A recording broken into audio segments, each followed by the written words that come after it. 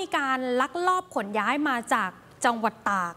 แล้วปรากฏนะคะ พบว่านอกจากนี้เนี่ยยังไปพบอีกพื้นที่บ้านบึงจังหวัดชลบุรี ซึ่งล่าสุดทางด้านของอธิบดีกรมโรงงานก็ได้ลงพื้นที่ตรวจสอบแล้วนะคะ โดยทางด้านคุณจุลพงศ์ทวีศรีค่ะ อธิบดีกรมโรงงาน ลงพื้นที่ตรวจสอบตำบลคลองกิ่วอำเภอบ้านบึงจังหวัดชลบุรี พร้อมกันกับตำรวจปทศเพื่อตรวจสอบโกดังแห่งหนึ่ง ในพื้นที่หมู่ที่ 4ตำบลคลองกิ่ว หลังได้รับเบาะแสนะคะ ว่าพบกากแร่แคดเมียม บรรจุอยู่ในถุง big bag big bag เต็มพื้นที่โรงงานเลยนะคะคุณผู้ชม มีลักษณะบรรจุภัณฑ์แล้วก็รอยเขียนสีน้ำเงินด้านข้างถุง คล้ายกันเลย คล้ายกันกับที่พบในโรงงานที่สมุทรสาคร แต่หายไปจากจำนวนที่แจ้งออกจากต้นทางกว่า 10,000 ตันเลยนะคะเบื้องต้นค่ะจากรายงานของตำรวจปทสที่ร่วมตรวจค้นระบุนะคะ พบกากแคดเมียมกว่า 7,000 ตัน ในโกดังจังหวัดชลบุรี จึงมีคำสั่งปิดโกดังเพื่อตรวจสอบ แล้วจากข้อมูลยังพบด้วยนะคะ พื้นที่บริเวณที่ถูกตรวจพบ มีอาคารลักษณะเป็นโกดังไม่ต่ำกว่า 20 อาคารค่ะ ก่อนหน้านี้อุตสาหกรรมจังหวัดชลบุรีระบุนะคะ ว่าโกดังของโรงงานบริเวณนี้มีใบอนุญาตทั้งหมด 4 โรงงาน มีเพียง 4 ใบเท่านั้นแต่ยังไม่ได้แจ้งประกอบกิจการ นั่นหมายความว่ายังไม่สามารถประกอบกิจการได้นะคะ นอกจากนี้ยังระบุด้วยนะคะ ว่าโกดังอื่นๆ ภายในพื้นที่ส่วนใหญ่ไม่มีใบอนุญาตด้วย นอกจากนี้ยังตรวจสอบข้อมูลเพิ่มเติม พบว่ามี 3 บริษัทเป็นเจ้าของ ในจำนวนนี้มีใบอนุญาต 1 ใบ ระบุเป็นโรงงานลำดับที่ 53 บดอัด หล่อหลอมพลาสติก โรงงานที่ 2 มีใบอนุญาต 1 ใบ ระบุเป็นโรงงานลำดับที่ 53 บดอัด หล่อหลอมพลาสติก เช่นเดียวกัน แล้วโรงงานที่ 3 ค่ะ มีใบอนุญาต 5 ใบ ระบุเป็นโรงงานลำดับที่ 53จำนวน 4 ใบ อีกเป็นโรงงานลำดับที่ 105 เป็นโรงงานคัดแยกของเสียที่ไม่เป็นอันตราย แต่ใบอนุญาตทั้ง 7 ใบนะคะ ยังไม่ได้แจ้งขออนุญาตในการประกอบกิจการล่าสุดค่ะ ทางตำรวจได้ควบคุมตัวนายหลิวลู่อายุ 38 ปี ซึ่งเป็นเจ้าของโกดังไปดำเนินคดีที่สพคลองกิ่ว โดยมีอธิบดีกรมโรงงานอุตสาหกรรม แล้วก็นายพรชัย แพรพิรมรัตน์รองผู้ว่าราชการจังหวัด แล้วก็ตำรวจร่วมการแถลงผลทางคดีด้วยนะคะ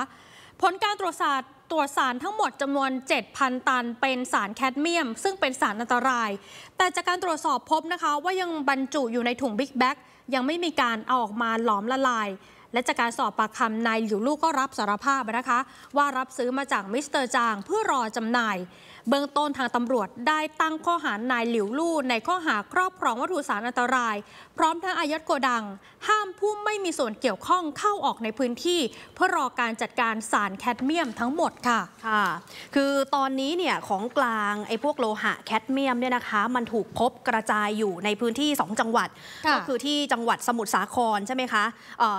2,400 กว่าตันนะแล้วก็ไปเจออยู่ที่เอ่อตำบลคลองกิ่วอำเภอบ้านบึง จังหวัดชนบุรีอีกประมาณเกือบเกือบ 7,000 ตัน ทีนี้ของกลางทั้งหมดที่มันลักลอบขนมาจากพื้นที่จังหวัดตากเนี่ยตามรายงานบอกว่ามากถึง 15,000 ตันค่ะเท่ากับว่าในจำนวนที่ตรวจยึดได้ประมาณหมื่นตันอืมมันยังมีของกลางบางส่วนที่หายไปค่ะที่ยังหาไม่พบ ปรากฏว่าวันนี้คุณผู้ชมคะ ทางเจ้าหน้าที่ตำรวจ เจ้าหน้าที่กรมโรงงาน และสำนักงานอุตสาหกรรมจังหวัดนะคะ เขาลงพื้นที่ไปตรวจสอบโรงงานอีกแห่งหนึ่งนะคะ ซึ่งตั้งอยู่ในพื้นที่ตำบลบางน้ำจืดจังหวัดสมุทรสาครค่ะ ซึ่งโรงงานแห่งนี้ประกอบกิจการหล่อหลอมทองแดง แล้วก็ตะกอนทองแดง ปรากฏ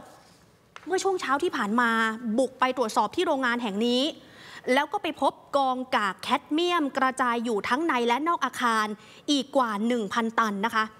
เจ้าหน้าที่ก็เลยทำการตรวจยึดอายัด แล้วก็แจ้งความร้องทุกข์กล่าวโทษกับโรงงานดังกล่าว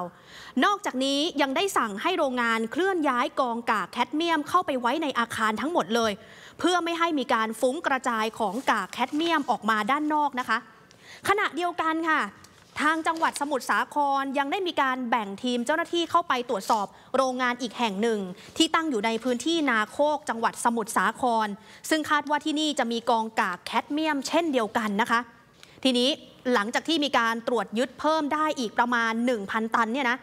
ทางด้านของรัฐมนตรีว่าการกระทรวงอุตสาหกรรมค่ะ คุณพิมพัทราวิชัยกุลออกมาบอกเลยนะคะ ว่าจากการตรวจสอบและยึดอายัดกากแคดเมียมในช่วงสัปดาห์ที่ผ่านมา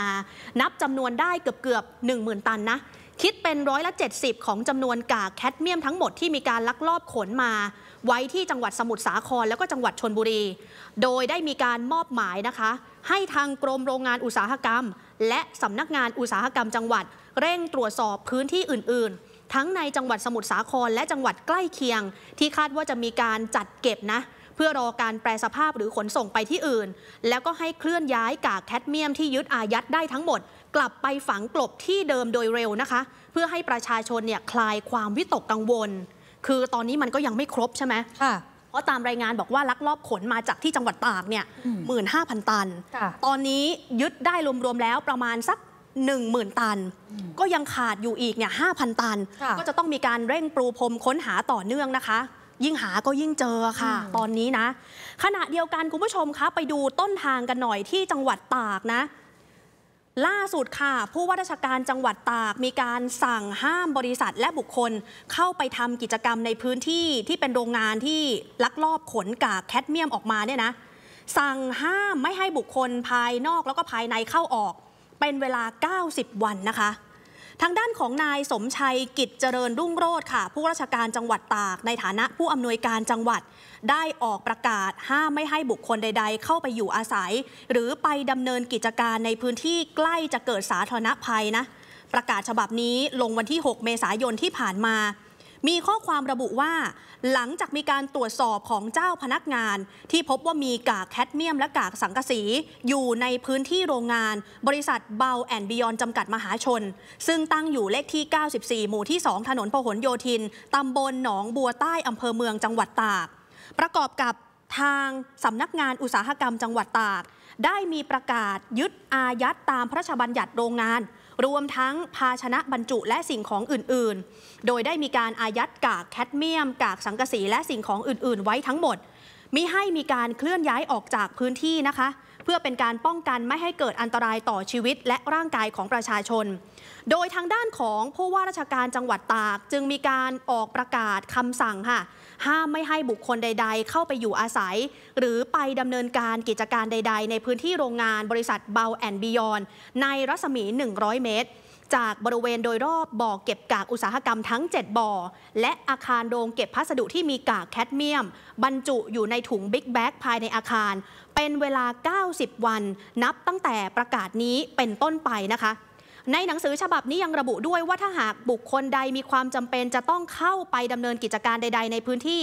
ให้มีการแจ้งต่อนายอำเภอเมืองตาก ในฐานะผู้อำนวยการอำเภอก่อนเข้าไปดำเนินการ แล้วก็ให้ทางผู้อำนวยการอำเภอ ใช้ดุลพินิษพิจารณาผ่อนปรนให้บุคคลใดเข้าพื้นที่ไปดำเนินการค่ะ อย่างที่ทราบกันนะคะว่าต้นทางของแคดเมียม 15,000 ตัน หรือ 15 ล้านกิโลกรัม มีที่มาจากบริษัทมหาชนแห่งหนึ่ง ในตลาดหลักทรัพย์ ที่ประกอบกิจการเกี่ยวกับเหมืองแร่ในจังหวัดตาก ต่อมาค่ะ บริษัทได้ถูกเทคโอเวอร์แล้วก็เปลี่ยนชื่อกิจการใหม่ ไปทำธุรกิจโรงแรมระดับไฮเอ็นส่วนกิจการบริษัทลูกเกี่ยวกับการทำเหมืองทั้งหมด ได้ถูกขายทิ้งไปในช่วงปี 63 นะคะทีมข่าวของเราตรวจสอบรายงานการประชุมของบริษัทแห่งนี้ที่ดำเนินการโดยผู้บริหารรายใหม่ในปี 64 พบข้อมูลแบบนี้เป็นข้อมูลที่น่าสนใจมากเลยนะคะ พบว่าเป็นคดีหมายเลขที่ 63ทับ2552 โดยโจทย์เป็นชาวบ้านที่อาศัยอยู่แถบลุ่มน้ำแม่ตาอำเภอแม่สอดจังหวัดตาก รวมทั้งหมด 298 คน ได้รับผลกระทบจากเหตุการณ์ที่เกิดการปนเปื้อนโลหะแคดเมียมในพื้นที่ จากการประกอบธุรกิจเหมืองแร่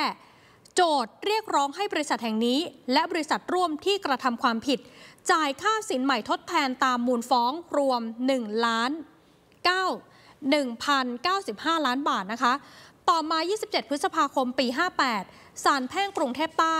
มีคำพิพากษาให้จำเลยจ่ายค่าชดเชยให้โจทย์เฉพาะราย ที่มีบัตรผู้ป่วยโครงการแคดเมียม ที่ออกโดยโรงพยาบาลแม่สอดจำนวน 4 ล้านเศษ ต่อมาค่ะ บริษัทได้ยื่นอุทธรณ์วันที่ 18 เมษายนปี 60 โดยสารอุทธรณ์มีคำพิพากษาให้จำเลยทั้งสอง จ่ายค่าชดเชยให้โจทย์เพิ่มเติม รวมเป็นเงิน 36 ล้านบาท กระทั่งในเดือนมิถุนายนปีเดียวกันนะคะ บริษัทได้ยื่นดีกาคำค้านคำพิพากษาศาลอุทธรณ์ที่วินิจฉัยให้จำเลยทั้งสอง ต้องร่วมกันรับผิดชอบต่อโจทย์ โดยบริษัทขอรับผิดชอบชำระเงินแก่โจทย์เฉพาะในส่วนที่บริษัทต้องรับผิดชอบเท่านั้น กระทั่งวันที่ 13 สิงหาคมปี 64 ค่ะ บริษัทได้ชำระเงินให้แก่โจทย์ครบทั้งจำนวนตามคำพิพากษาของศาลอุทธรณ์รวมเป็นเงินทั้งสิ้น 34 ล้านบาทเศษนะคะ นับตั้งแต่ชาวบ้านฟ้องร้องในคดีนี้ปี 52 รวมทั้งหมด 12 คดี 12 ปีนะคะ ที่ต่อสู้จนถึงศาลฎีกา แต่ศาลมีคำสั่งให้เอกชนรายนี้ ต้องจ่ายค่าชดเชยให้กับชาวบ้านแม่ตาวเกือบ 300 คน คล้อยหลังไป 2 ปีในช่วงปลายปี 66 ค่ะ เอกชนรายใหญ่ที่เปลี่ยนกิจการไปประกอบธุรกิจประเภทอื่น ปรากฏเป็นข่าวนะคะ พบว่าเป็นต้นทางเคลื่อนย้ายกากแร่แคดเมียม 15,000 ตัน จากจังหวัดตากไปที่โรงงานในสมุทรสาครแล้วก็ชลบุรีอีกครั้งหนึ่ง ส่วนความเคลื่อนไหวล่าสุดในพื้นที่สมุทรสงคราม สมุทรสาครนะคะขออภัยตำรวจบกปทศได้อนุมัติหมายค้นนำกำลังเข้าตรวจค้นโรงงานตามที่คุณแนวบอกเมื่อสักครู่นี้ค่ะ ค่ะ ขณะเดียวกันนอกจากที่สมุทรสาครแล้วมีรายงานเข้ามาว่าช่วงเวลา 11นาฬิกาที่ผ่านมาเนี่ยนะคะ ทางด้านของเจ้าหน้าที่อุตสาหกรรมจังหวัด ชนบุรีนะ ได้เดินทางไปติดประกาศคำสั่งที่โรงงานในพื้นที่ตำบลคลองกิ่วนะคะ ที่มีการไปพบแคดเมียมจำนวน 7,000 ตัน ที่หายไปจากพื้นที่จังหวัดสมุทรสาครเรียบร้อยแล้วนะคะ ก็มีการเอาประกาศคำสั่งไปปิด ลักษณะก็จะคล้ายๆกับที่จังหวัดตากค่ะนะคะที่สั่งปิดเลย แล้วก็ห้ามบุคคลที่ไม่เกี่ยวข้องเข้าไปด้านในเนี่ยนะ เพราะว่าไอสารชนิดนี้มันเป็นโลหะอันตรายนะคะค่ะ แล้วที่สำคัญก็คือโอ้โห ตอนนี้เนี่ยไปพบ 3 จังหวัดใช่ไหมค่ะมาจากตากย้ายไปที่สมุทรสาครล่าสุดไปพบที่จังหวัดชนบุรีชลบุรีด้วยแล้วเก็บไว้แบบนี้เนี่ยนานหลายเดือนแล้วค่ะเออชาวบ้านเขาก็กังวลนะคะ โดยเฉพาะในพื้นที่เนี่ยไม่รู้ว่ามันจะมีการปนเปื้อนลงไปในแหล่งน้ำในสภาพอากาศมานานแค่ไหนแล้วค่ะแล้วถ้าเราไปย้อนดูบริษัทที่เอ่อเป็นบริษัทที่ทำเหมืองแร่ที่อยู่ที่จังหวัดตาก เคยมีคดีฟ้องร้องกับชาวบ้านในพื้นที่นะ 10 กว่าปีที่แล้วอะค่ะค่ะ แบบนี้ก็ต้องจับตานะคะว่าจะมีการฟ้องร้องคดีใหม่ที่เกิดขึ้นอีกหรือไม่ค่ะในพื้นที่ทั้งสมุทรสาครแล้วก็ชลบุรีด้วยค่ะ ใช่ค่ะ